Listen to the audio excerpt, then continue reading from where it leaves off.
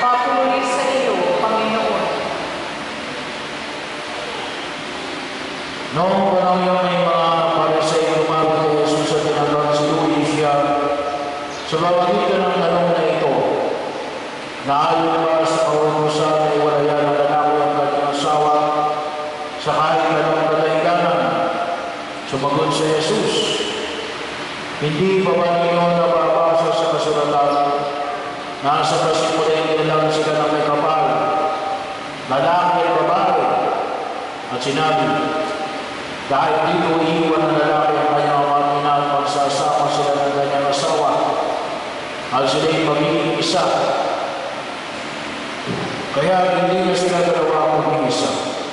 Ang pinagsama ng Diyos ay huwag pag-iwalayin ng tao. Ang mabuting balita ng Panginoon. Pinupuri ka namin, Panginoong Yesu Kristo. Magsiupo po muna.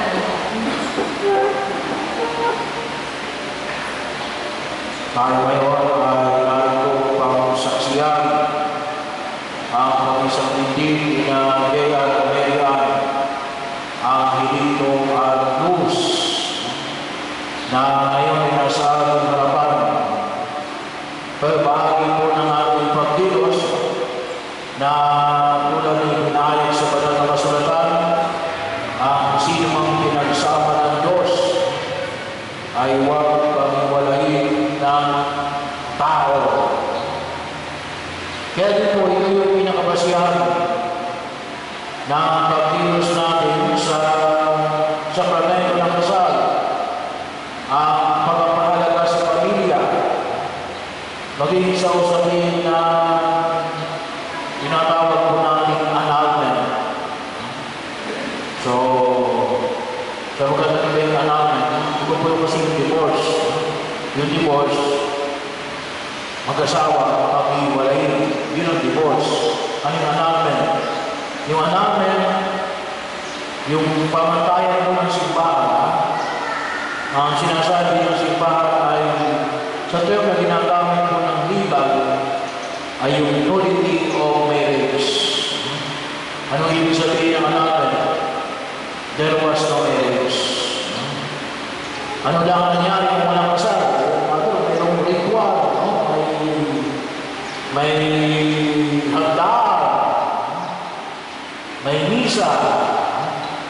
Ano lang nangyari? Kasal-kasalan.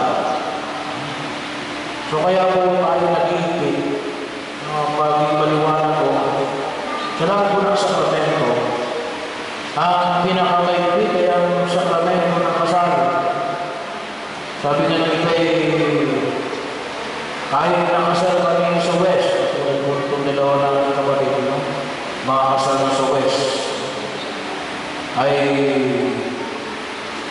sabi nga ay kapag kakasal na simbahan, ay sabi, sabi ko nga ay kung ikakasal ng simbahan, ay gawin natin yung requirement sa law.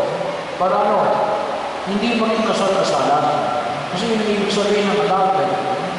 Kaya ka nagpapangal kasi ang nangyari lamang ay kasal-kasalan. Why? There, there was or there were kung tawagin po natin ay ay kakulangan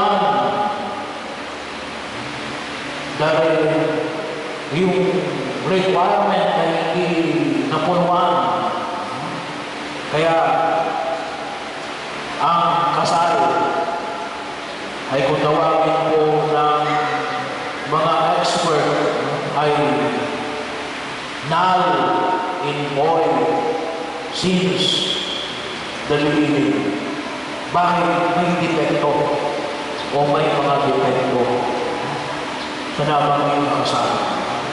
Katulad ng iba, parang ano? Yung age. Ano yung age? 18 years old. Wala bang 18 years old? May depekto na ka ba? Pwede mo i-apply ah, sa anak na kasi bakit? Ating marriageable age, 18. Pero hindi mo natin pinag-uusapan kung hindi annulment. Kailan po, nais natin bigyan pansin na kaya lang namin annulment because there is no marriage. Walang kasal na nangyari. Ngayon, dito ngayon, sa dalawang ito, ay hindi kasal. Hindi kasal-kasalan. Kaya po ang simbahan ay nag-iingat. Kasi nga baka mangyari ay maging kasal-kasalan. Kaya pinili natin na mapuluan ang lahat ng hinihingi ng batas ng simbahan at ng batas ng gobyerno. Kasi kung kapag kayo ay kinasal sa simbahan, kasal din kayo sa gobyerno. Unless, kung kasal na kayo sa gobyerno, eh, convalidation na lang ang tawag natin. Pero kung halimbawa, hindi pa kayo kasal sa gobyerno, kinasal kayo sa simbahan, automatic yun, kasal kayo sa civil. Dahil kasal kayo sa simbahan, hindi lang kayo kasal dito sa Pilipinas. Alam mo, one time, ay nagpunta ako one time. Narinig ko yung usapan ng magkabila. Magkabila, kami nag-usapan na ay annulment. Sabi niyo sa kasal sila sa Singapore. Yung isa, iniisis na, ah, bigat ko dito kasi kasal sa Singapore. Hindi, no? Kung sa civil, ha? Kung sa civil. Kung sa civil kayo kasal, sa Singapore, sa Singapore kayo kasal. Kasi hindi sakot ng batas ng Singapore ang batas ng Pilipinas. Pero kung sa Singapore kayo kinasal, at kinasal kayo sa simbahan katoliko, ah, kasal kayo. Saan man bahagi ng daigdig. Ganon kalawak yung kasal ng simbahan. Yung kasal ng gobyerno, ay kung saan gobyerno lang kayo kasal. Kung sa gobyerno lang kayo ng Pilipinas, dito lang kayo kasal. Pag pumunta kayo ng Hong Kong, ah, binaga ka na. No? Pero pag bumalik ka ulit sa Pilipinas, may asawa ka na. Kapag kasal sa sibil. Pero kapag kasal ka sa simbahan katoliko, kahit na pumunta ka sa Russia, kahit sa Syria, kasal ka. Bakit? Yun yung kasal ng simbahan. Katoliko. I could not speak of other, uh, of other uh, churches. eh. Pero pag sin- sinabi natin ang kasal ng katoliko ay dinabanta sa alimang bansa na kung saan ay dinabanta ang Vatican State. Kaya yun po yung isang pagandahan ng tinatawag natin Vatican State. So anyway, bahagi yun ng pagkilos natin ng kusa itong dalawang paris na ito ay kasal. Hindi na po ako magigil masyado sa kahalagaan ng kasal. Sapagkat siguro ibububog na kayo na kasal kayo panghabang buhay. Kapag kasal kayo sa simbahan, ay kayo ay sinasamahan ng Diyos sa inyong buhay may asawa at sa pagkatagulod ng pamilya Kristiyano. Pero alam mo yung nais natin bigyan ng pansin. Yung, yung hamon ay binibigay mo na na nawa ay makasal sa simbahan kahit na kayo ay kasal sa sibil. Kasi bakit? Sa pagdating ng simbahan, kasi hindi kayo kasal sa simbahan, kayo ay nakumuhay sa kasalanan. Kaya ninanais natin, hindi lamang po yung may kasal sa sipil. Hindi lamang po kasal sa mayor o kasal sa sa attorney, ah, sa, sa, sorry, sa ah, West, ng judge, ang tawagin ko natin. O kung kayo ay, kung, kung kayo ay nasa barko, ay kasama ng kapitan ng barko. Pero makita po natin na kung tuusin po ay pinangalagahan natin yung kasal sa simbahan. Kasi kung hindi kayo pinasal sa simbahan, kayo ay namumuhay sa kasalanan. Alam mo yung epekto nito? Sa pagkat yung pagliligtas ng Diyos, sa isang pagliligtas na lang, maligtas tayo sa maraming kapahamakan. At makita po natin yung maraming kapahamakan na kung saan ang gagaling sa kasalanan. Sa kasalanan.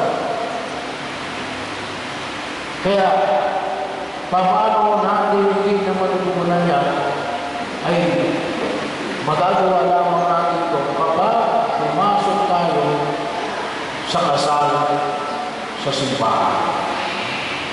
Hindi tayo mamumuhay sa pagkakasala.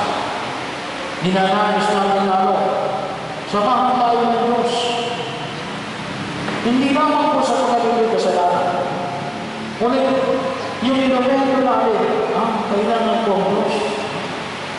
Kailangan ko ang Diyos. At ang sabi ni Lord, ay makasal kami sa kanyang harapan. At ang maging pamantayan ng aming buhay ay ang salita ng aming Panginoong Yeso Kristo. Kaya maniwala ko na ano yung ibinibigay ng kasal Kristiyano o kasal ng simbahan. Hindi mo sinasabi na kapag nagpakasal ka ng simbahan, hindi na kayo magkakaroon ng problema. Hindi mo. Hindi mo sinasabi na kapag kasal na kayo sa simbahan, hindi na kayo maghihiwalay. Hindi. Magkakaroon kayo kayo ng, ng problema. Magkakaroon kayo ng pagkatalo. Pero ano na ang sinasabi ng simbahan? Kapag kasal kayo sa simbahan, hindi na naging ang inyong sarili sa harapan ng Diyos na Panginoon, nais namin maging tapat sa bawat isa, tulungan mo kami. Gawayan mo kami. Pagpalaan mo kami. Kami ay yung tulungan sa aming katatayuan sapagkat alam namin, hindi madali ang magsama lalo na nasa pagkatatuloy ng banal ng pamilya. Mahirap po yun. Kaya, nanayos natin na kung saan ano, samahan tayo ng ating Panginoong Yeso Kristo. Ano ah, sa pagsama niya ito, niyang paalagahan ang biyaya na dulot ng sakramento na pag-iisang. Ano ba?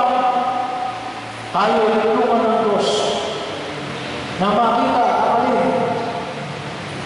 ang pamamaraan ng pagmamahal. Sino man natin ang foundation o the relationship of marriage and of any other relationships. Ayan o, pagmamahal. Yan ang uli ng pagmamahal. Ang pagmamahal ba ng sarili? Yung sarili mo ang una mong mamahalin? O pagmamahal katulad ng ipinakita sa atin ng ating Panginoong sa Kristo? Yung pagmamahal na handang pagpakasabi sa kanyang minamahal. Yung pagmamahal na nagbibigay ng kanyang sarili sa kanyang minamahal. Total self-giving. So, ito po yung tanda ng Diyos. Yan yung tanda ng pagmamahal. Ganyan yung nagmamahal. Mas maunawaan natin yung ating kalatayuan. Ah, nahirapan ako. Ay, ganun pala. Kasi Bakit? Ang nagmamahal. Then, makikita natin magiging magaan yung natin. Kahit na kumisa ay mayroong kaakibat na hirap. Bakit? Kasi yung pamamaraan na ginagamit natin ngayon, pamamaraan ng pag-ibig ng Diyos. Hindi yung pamamaraan ng pag-ibig ni Narcissus. Kung tawagin na po ng iba, yung pag-ibig, makasalitang pag-ibig, yung yung tawagin namin yung pag-ibig ni Narcissus, narcissistic love. Kaya ka lang nagmamahal para sa sarili mo. Yun yung mga tao kaya sila nag-asawa ay para lamang sila yung paglingkuran. Hindi para sila yung paglingkod. Yun ang pagmamahal ng narsiso. Ano yung nais sa pagmamahal ng isa ng ating kulara? Pagmamahal ng ating Panginoong Heso Kristo. Ang pagmamahal na ipinakita niya sa krus. Ano ba yung bibigyan natin ng hindi na pagkakataon? Na matulakan natin. Sa mga doon magiging makahulugan. Doon natin makikita na at magiging magaan ang ating pagkilos sa bantahan natin sa daigdig na ito. Kasi tayo ang mamahal katulad ng ating Kristo. Kasi kung yung pagmamahal natin, katulad ng pagmamahal ng Narciso, ano,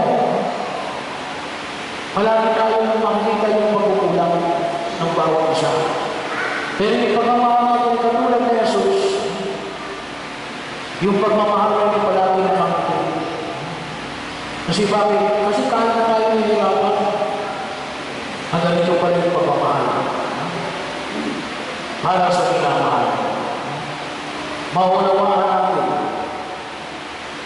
yung turo ng pag-ibig na ibinibigay sa atin ng ating Panginoong Yeso Kristo.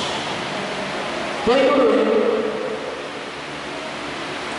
kaya kailangan ang dito at tus, ito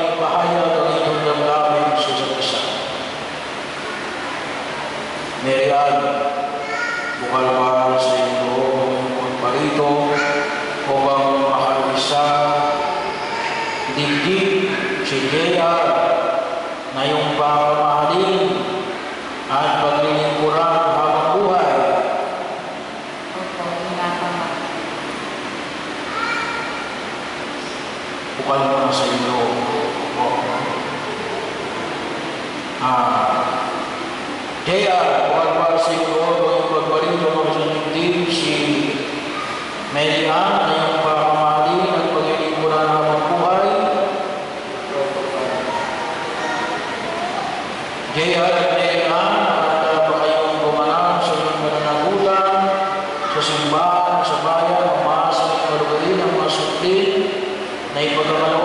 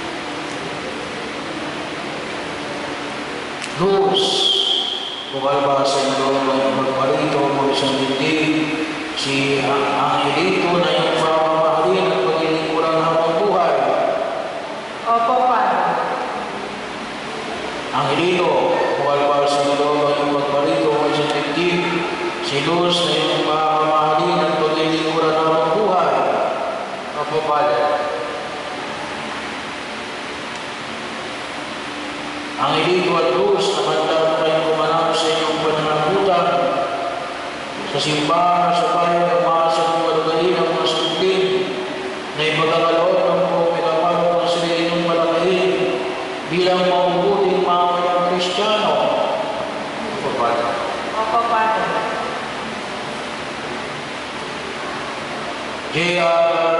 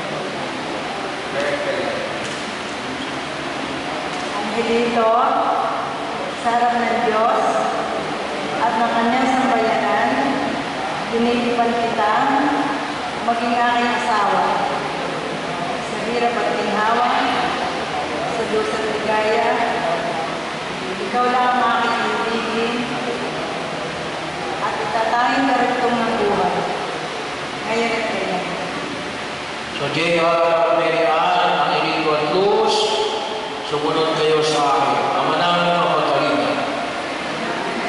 Magharap, magharap kayo ng kamay. Maghawak pa rin kayo ng kamay. Ama namin ang kapal.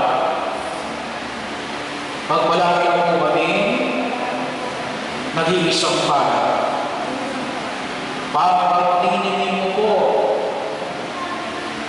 sa lahat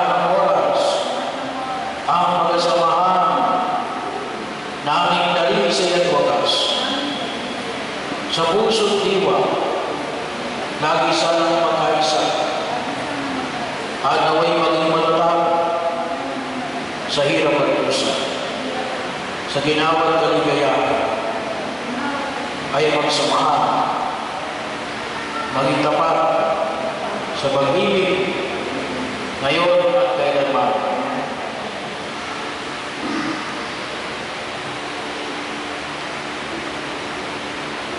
Bilang bilang oh, bago ko mas masabi mga nitong at nina, mga nitong at Sumabay po kayo sa minamahal namin. Sabihin po ang pangalan ng inyong mga inaanak. Ang langit at lupa ay saksi sa inyong pagtitipan. Sa ngalan ng isang bayanan namin ito, kami nagpapatunay na kayo'y mag-asawa sa mata ng Diyos at sa mata ng tao bukas malalangin kayong tinatanggap at makahasa kayo sa aming tangkilik at panalangin. Bilang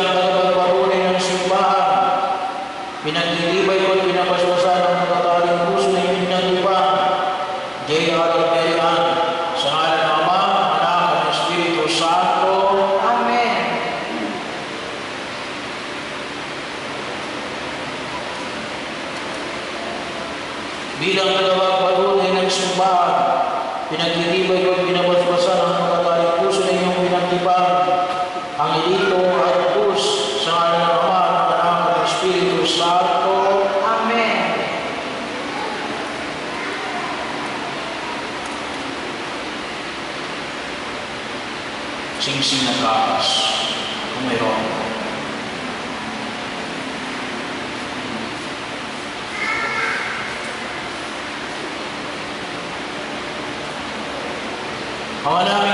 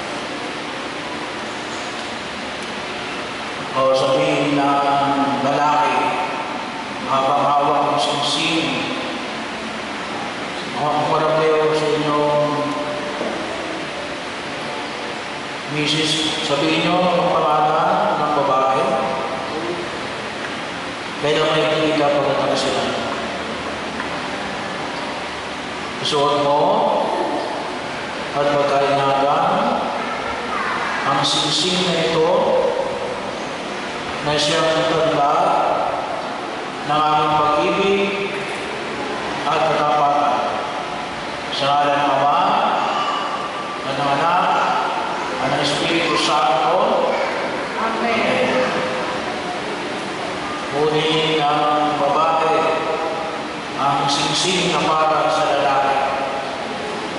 At sabihin, sabihin yung pangalan ng lalaki. Kaya may hindi ka pagkatak sila. Suot mo at pagkaingatan ang singsing na ito na siyang ganda ng aming pag-ibig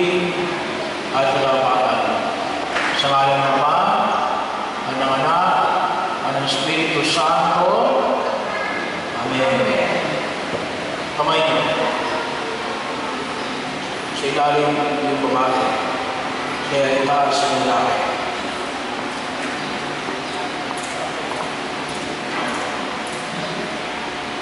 Sa ilalim ng babae itaas ng lalaki.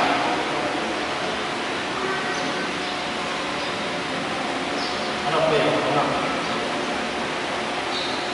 Sabihin ng lalaki sa